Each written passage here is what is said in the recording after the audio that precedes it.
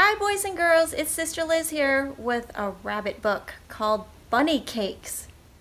Bunny Cakes by Rosemary Wells.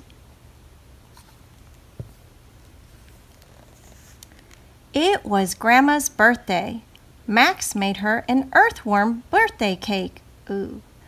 No, Max, said Max's sister Ruby. We are going to make Grandma an angel surprise cake with raspberry fluff icing. That sounds good. Max wanted to help.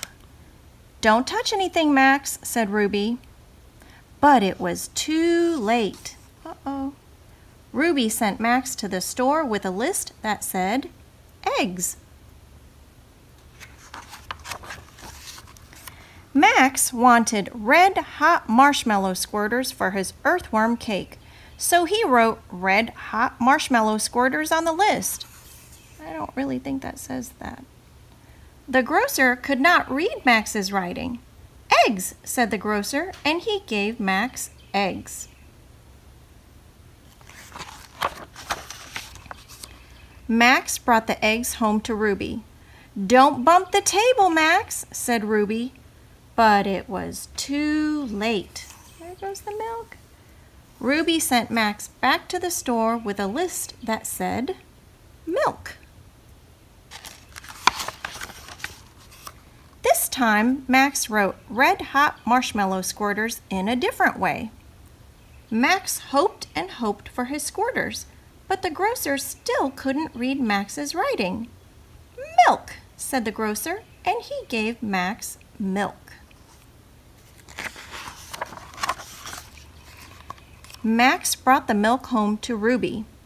There's a yellow line on the floor, Max, said Ruby. You can't step over that line. But Max crossed the line anyway. Over went the flour. Ruby got out her pencil. Flour is on the list. This time, Max wrote red hot marshmallow squirters in the most beautiful writing he knew.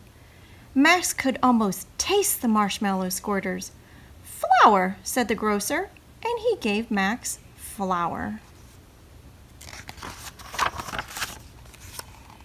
When Max got home, there was a sign on the kitchen door. Max, the kitchen is no place for you, said Ruby. Aw. Ruby finished up her cake. And there's Max outside the window. She baked it and cooled it and iced it with raspberry fluff frosting. It needs something else, Max, said Ruby.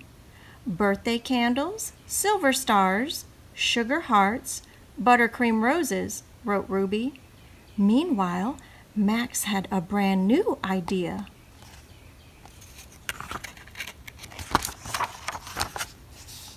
He drew a picture of red hot marshmallow squirters on Ruby's list and ran to the grocer.